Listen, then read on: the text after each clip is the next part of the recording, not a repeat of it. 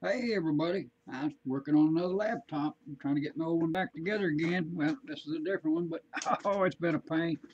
All those Windows updates 10s, they, did, they, end- they end up crashing this silly thing. And it didn't like me adding some files from an old, old program. Try to save it over here.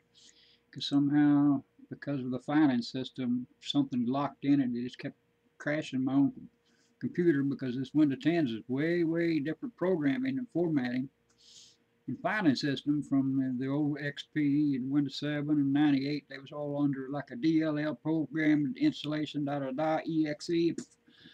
Oh man, I'm had fun. So now I like to never got my camera back. My Logitech, I just love these boogers. I just love them, man. Hey, see my Trump hat? Hey, Rod, I'm gonna vote for this man. I don't care what you.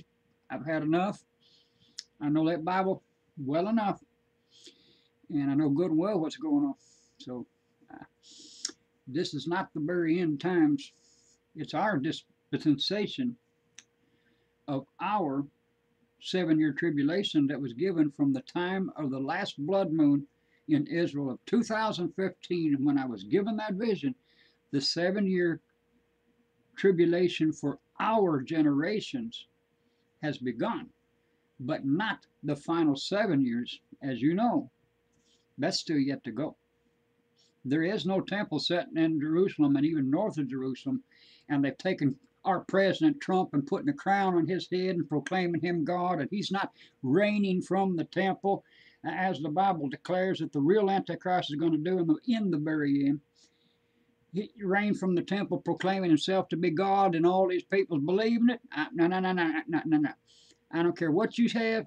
I've had enough. I ain't listening to it. I love you, and enough is enough. So this isn't even up on YouTube.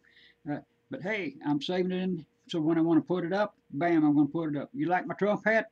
That's who I'm supporting, big guy. I've had enough. Stop trying to preach and teach at me and present as if I don't know what anything about this Bible, and I, I've had enough. I love you. Thank you for supporting me. I've tried my best to, to support you in every way I can and help you get your ministry out there and be recognized and known. Thank you for sticking up with me. But I, I've had enough, and I'm done. Uh, this cancer's got the best of me, and until I'm able to do anything, I ain't doing squat. Love you, and bye-bye.